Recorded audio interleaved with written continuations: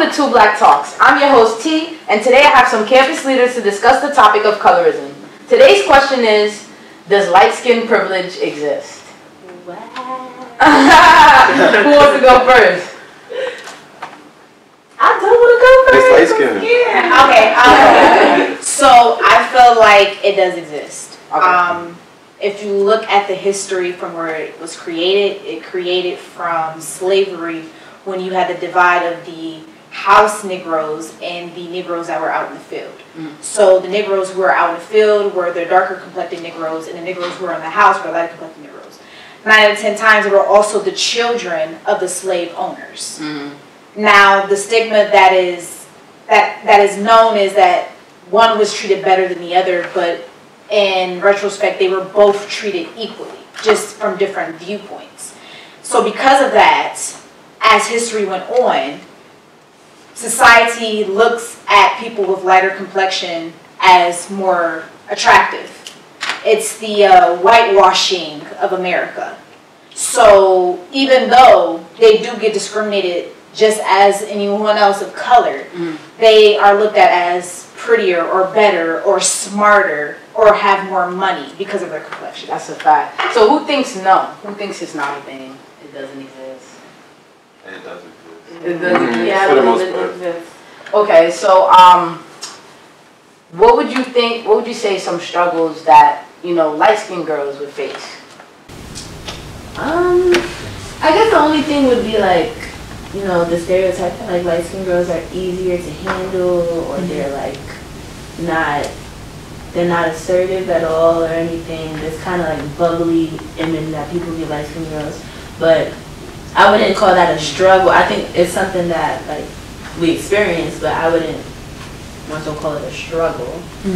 I hear like uh, another perspective. Like I have friends, I feel like they'll share with me that like, or even things I've watched. I've heard light skinned girls be like, oh, sometimes they feel like they're they're not black enough or not like you know, like they get ridiculed because of the the way people perceive them.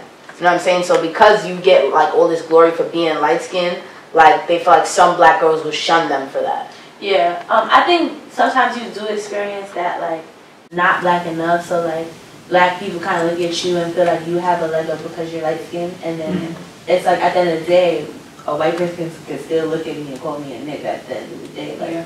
so, it's like, you do kind of experience darker skinned people looking at you like, oh, you have a leg up, like, what do you have to complain about? But it's like, I'm still black, and I still go through Right. the same things that you go through when when it comes to like corporate America or just America caca in general.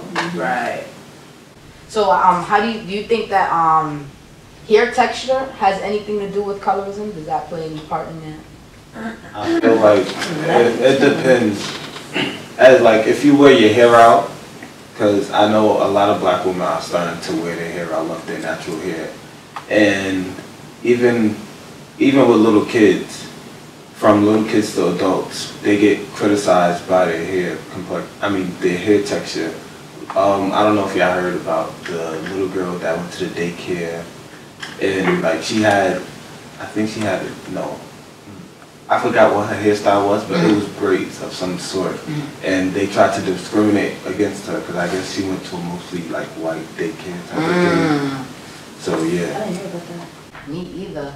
It's it's. I feel like it is a problem too because sometimes they always considering natural hair as like unprofessional or unkept or something like that. But like if I don't want to like you know damage my hair, either damage my hair or wear weave is like my only option to look professional. It's like we just got to change the standard for ourselves basically. But i feel like that's definitely become a lot more prevalent as i got older. Like i've never seen more natural girls in my life till i got older. Like when i was younger if you ain't have a perm you ain't know the word. Like that's it. Like you wasn't in like what are you doing? Mm. I like if think- you didn't have your shit straight. And I feel like I think I could see like more now, like than ever, like we just said, Yeah. because I like when I was I have a twin, like I said. So when I was younger, like she like on Easter, like my mother would be hot combing her hair, perming her hair, making sure her hair was flat. But then now, like I have a little sister now, she's seven. My mother doesn't put anything to her hair. She, mm. she you know, she conditions it, makes sure like it's natural, keeps her her bobos in, keeps her mm-hmm. puffs in. Like so, I like I'm loving that vibe and I love it. But I just don't think that it connects with colorism per se. I just think that it connects with how people just view, you know, the actual girl mm-hmm. or just the girl in general. Because I kind of feel like, and it makes me like feel like bad, especially when colorism is like shown, especially in schools and, and just in general. Because even when I was younger, I didn't know what color was. So me not knowing what color was was a, also a bad thing, but it was it was a good thing as well. But I knew enough about my blackness when I was younger to know that my twin is a little bit darker than me. To know that my twin's friends is a little bit darker than me. So whenever it would be like arguments and stuff like that, I would go for where it hurts and try to come at her for Right. how dark she is. And I know it's like it's not okay. Now I know it's not okay, but then it was like back then I already know and teachers were hearing too. Yeah. Like we arguing, teachers would be hearing, we'd be calling girls stuff like burnt eagles, Mm-hmm. bad, like just horrible. Teachers were hear it. I don't feel like teachers and are equipped enough to call out things like that and say Mm-hmm. this is not okay. Are they not equipped or do they not want to address know, the 'cause issue? Mm. I can relate That's to the that. question. Oh, Cause it's like there are people. I mean, I mean, there are are like people that um like people that are oblivious, I guess, to sometimes the, some of the little things that we face. But there's some things that's outright. You know, you know that's unacceptable, and there's Yeah. certain things you intervene in, whether or not you yourself know. You'll bring it to a high level as a teacher. I feel like that would be your responsibility. That goes into the conversation of why we need more black teachers. That's a Yeah, whole that's- Yeah, that's a whole nother nother conversation. But Whole I, nother I feel. I feel that hair texture does have something to do with colorism, and the reason why I say this is because it's not just in what we would say white America; it's also in our communities. Mm. Because if you are African American and you are lighter complected and your hair is coiled, 4C texture, people will come to you and be like, "Why is your hair so nappy?" Right. But if her okay. hair was more of a, let's see, a 3C Or a- or something like that, oh, it's so beautiful. You have good hair. I wish my hair Good was like hair. yours. Right. And as you can see, Mm. okay, for C. And for years, for years, when I first went natural, I was 12 years old. This Right. was back in 2008 when we were still relaxing our hairs, hot combing it. My grandma inspired me to go natural. So when I went through the transition living in Ohio at the time, I was okay because I was still like my friends accepted me for who I was. Right. That's where I grew up, that's where I was from. When I came to New York, to Niagara Falls, New York at that First of all, I don't know if you know anything about Niagara Falls, New York, but it's it's just ratchet as hell. two,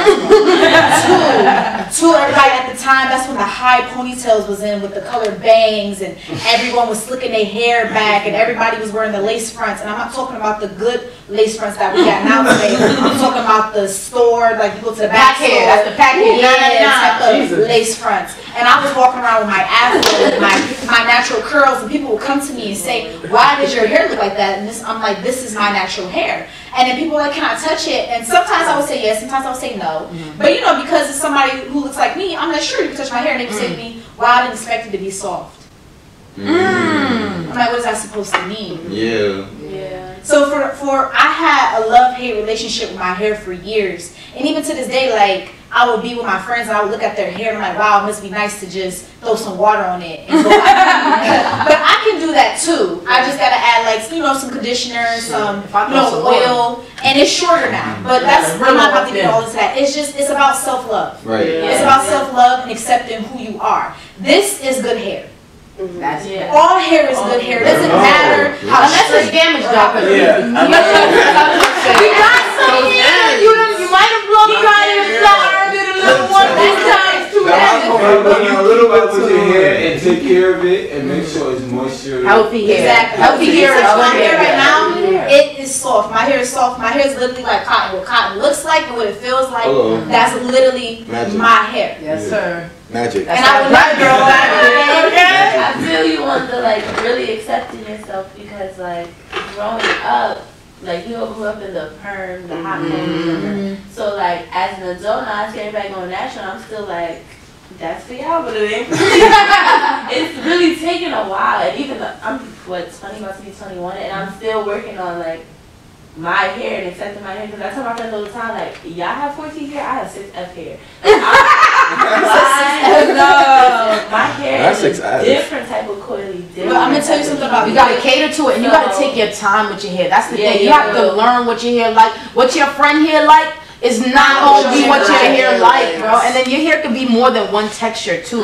So you gotta think about all the different textures that's in there and uh, how your hair relax. You have to also test the porosity of your hair. You gotta get in tune with that though. Go search that up. YouTube With the water. Yeah, test the porosity of your hair. See what type of products is good for your hair. BET E just had, I just, I was on Facebook two days ago. BET had this thing called Just Fab or Two Fab or something like that on their page, and it was talking about the, the amount of money black women in America spend on hair products.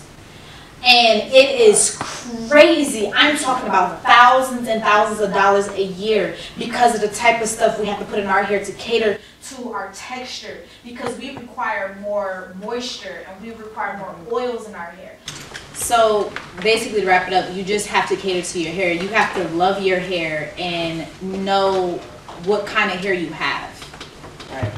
But I was saying like to develop on like colorism, I feel like it's hard to feel comfortable with being yourself because you have like this whole issue of colorism promoted by white people, but it's also carried on by the black community. So it's kind of like when I was younger and I'm sitting there bashing other people who are different skin tones than me. I'm bashing them, but I'm not even knowing why. But I'm just targeting their skin, mm. and like it's stuff like that. And teachers are not equipped to help. But then it's like, oh, okay, growing up now these kids really don't feel comfortable and i feel like it's kind of discouraging because we're all black and we all of our skin glows in the light like we magical like we're different and nobody else we don't gotta put on sunscreen when we go outside to the beach like i'm saying like People be like, oh yeah, we do, but we, we probably do. We, I ain't never got sunburned yet. I That's never not- got a baby oil. should. Nothing crazy. you We should, should. you We should, should. We but you don't need to and our We skin was made to. our skin was made to protect Absorb us from exactly Yeah. so being so magical i hate to see when like we like discourage each other because of our skin color Yeah, that's a fact. Thank you for tuning into TO Black TV. Follow us on IG at TOBLK TV for updates. Don't forget to like and subscribe. Thank you.